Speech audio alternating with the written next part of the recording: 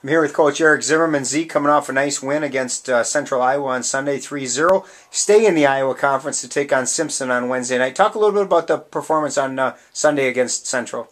Well, Sunday was a bit of a tough game for us only because we had played a tough match the day prior against Carleton. Um, so we were a little banged up, beat up, a little exhausted, but um, just to get the result against against a decent IAC opponent was was, was a big deal for us. So we're happy with three nothing. Um, you know, we certainly had more chances. The score could have been a little higher, but we'll take it.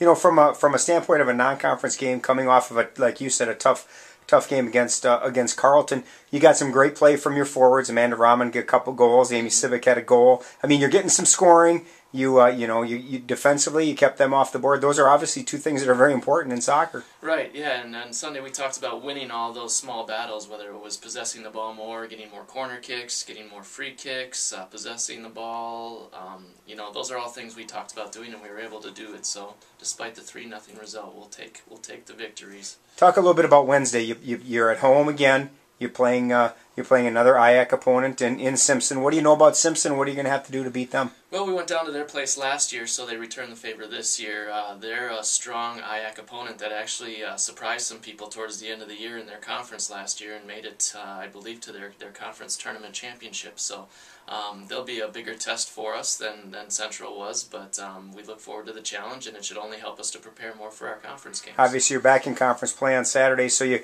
nice to step out of conference play for a couple of for a couple of games and kind of rest up and uh, and and prepare for the final push. Yeah, we get some key players some rest, uh, especially those that are banged up, and we give some people some opportunities to, to show that that you know they may deserve some minutes in some of those crucial conference games. Sounds good. Wednesday at home against Simpson, four o'clock. Good luck. Thank you.